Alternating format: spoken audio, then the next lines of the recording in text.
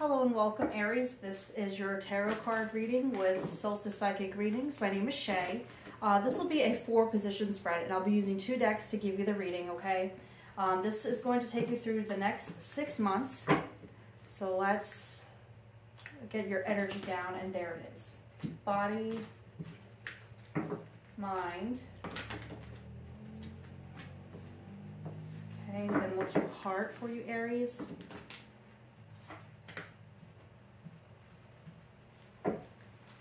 And then finally, we have spirit. Okay. Aries, for the next six months. And body, okay, mind, heart, okay, and then spirit.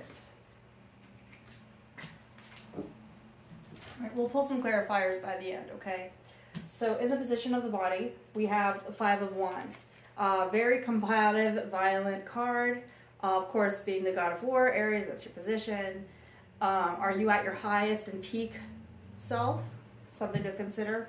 Um, just rolling right through the haters, okay? Followed by inspiration. Uh, and given the value or lack of color in the inspiration card, I would say even even dare to say that you are your own inspiration or you're looking towards darker energies. Maybe you have a specific deity or role model that you look for that is less than favorable in the eyes of others, but for you right now, that is the exact energy you need because they are on that boss energy that you are needing right now to make it through the situation. This is in the physical realm, okay? In the position of the mind, we have Two of Cups. This is a card of lovers, unification, reuniting, and of course, uniting both halves of the divine masculine and divine feminine. This is a wonderful card, um, and I think that you are at peace with yourself, provided the situation. Legacy, persistence. Um, of course, you can't have a legacy without lovers because to love is to procreate. All right, so you are creating something in long terms of longevity for your mental wellness, okay? This is a loved one that you are reuniting with, congratulations. I'm definitely happy for you. If you are newly single and you're finding yourself again, you will also be successful and better prepared for the next relationship, if at all that's what you want. Heart. Four of Pentacles. Uh, perfectly balanced, well placed. You're guarding what's there, what you've established. You're not looking to make any gains significantly just to protect what's there and create a solid unification of you know the physical realm what you're what you're mentally capable of doing what feels right. The money looks good. You're sitting pretty for the rest of the year. If this is not where you are at this is where you need to be. So find a way to make the changes appropriately okay aries? Uh, space. You are carving out a space of safety okay? Um, I choose these decks for a reason because this fairy deck and this dragon deck speak to each other. They both have dragons and it's very mystical and ethereal. Uh, in terms of space, you are possibly thinking about moving and relocating. It may not be right now. Planning and timing is everything for you, Aries. That's very important. It's important for everyone right now. Look at the situation. You don't have to have me tell you. Just look on the news.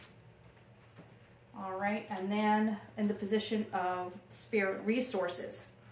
Uh, looks like you're trying to recruit a new spiritual development, a new spiritual practice uh, whatever you've practiced before in the past that has served its purpose is possibly time to evolve and to grow. Definitely right. Uh, the chariot is a card of significant spiritual takeoff, like leaving the physical and focusing on the spiritual, or leaving the spiritual and focus on bringing those lessons to the physical realm. That's what the chariot is saying. So this speaks to itself perfectly. You're going into a fast forwarded acceleration between June and December of 2022 Aries. That is very important for you to recognize and to think and believe in yourself because no one else is going to believe in you if you don't. I think that you have a lot of doubters around you at this time. It's probably time to call the herd. We're going to go in and clarify as well. So before I do, let me pull inspiration, legacy, space, and resources. Okay, these are your cards from the Dragon Oracle deck. I believe this is the Star Dragon Oracle. Um, yeah, that's right. It is Star Dragons. Five of Wands, competition, knocking them down, lovers. with the Two of Wands, Four of Pentacles, and then we have the Chariot. Okay, so this is the, the reading in summary. Let's go ahead and pull two clarifiers, one from each deck. Can I get a final card for Aries from this deck? Just one card, Spirit freedom, breaking the change chains. Absolutely. You're going to start a new chapter for yourself, especially spiritually. I think the most significant is the spiritual message because the rest tends to fall in place. Uh, Aries, you're in your own headspace. You're doing the methodical thing. You're in the methodical phase of your uh, sign at this point, and um, you will be free. You are free. It's just a matter of carving out the space, the physical space and setting things up in such a way that you are able to liberate yourself. Just one clarification card from this deck. Can I please get King of Swords? Um, this is definitely a card of being alone, solo, having won the battle from the Five of Swords. You've now transitioned to the King of Swords by the end of the reading. Okay? King of Swords is thinking, he's planning, planning the next move. Think. Don't just say yes to everything. Think. I say that a lot. But common sense is as common sense does. So when you're planning your next move, think about who you're telling, probably no one. Think about what you need in place, probably a lot of things. Think about if you need a part time job, if you need to sign some paperwork, if you need to take a class or something real quick. Maybe you need to take something at a community college or find a tutor. Maybe go on Groupon and take one of those courses. Anything to liberate yourself. Um, Aries, I think that this was a fully well-rounded reading. Like I said, this takes you from the middle to the end of the year.